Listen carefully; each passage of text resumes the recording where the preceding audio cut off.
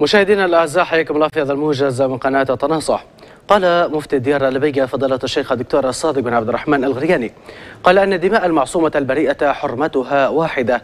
وأن الله توعد من انتهك حرماتها باللعنة والغضب والخلود في نار جهنم.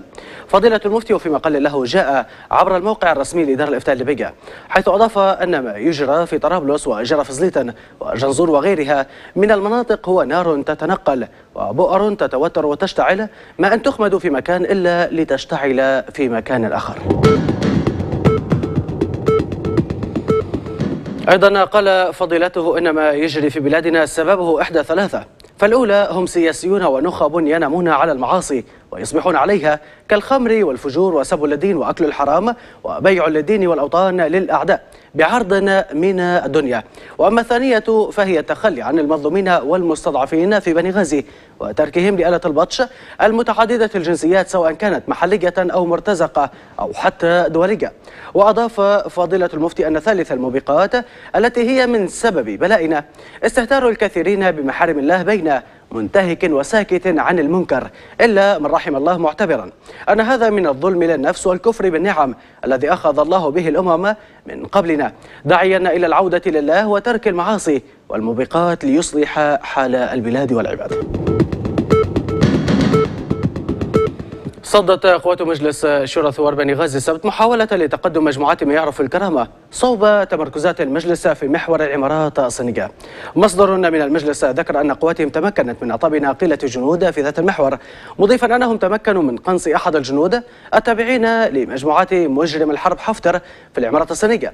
هذا ويشهد المحور الغربي اشتباكات وصفت بالعنيفة منذ ما يقارب الشهر تحاول فيها مجموعات ما يعرف الكرامة تحاول السيطرة على عمارات 12 أفاد مركز السرايا بتجدد الاشتباك بين قوات شورى الثوار من جهة ومجموعات ما يعرف الكرامة صباح الأحد في المحور الغربي.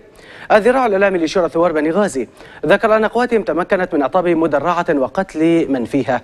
فيما قتل أربعة جنود تابعين لمجموعات مجرم الحرب حفتر إثر الاشتباكات وأضاف المركز أن ميليشيات تشن هجوما عنيفا على العمارات الصينية تستخدم فيها الأسلحة الثقيلة. إلى الخبر الأخير في هذا الموجز حيث أصيب أمير الكتيبة الثانية صاعقة تابعة لمجموعات ما يعرف الكرامة النقيب محمود الورفلي جراء انفجار سيارة أثناء مرور موكبه في منطقة الهواري. وحسب مصادر من مدينة بني غازي فإن التفجير الذي استهدف نقطة تفتيش بالهواري أثناء مرور موكب أمر الكتيبة الثانية صاعقة أسفر عن مقتل اثنين من الكتيبة وإصابة سبعة آخرين من بينهم محمود الورفلي ونصر الدريسي وونيس العبار وأحمد العريبي. يذكر أن محمود الورفلي هو أمر محاور القتال التابعة لمجموعة الصاعقة غربي بني غازي في ختام هذا الموجز إلى اللقاء.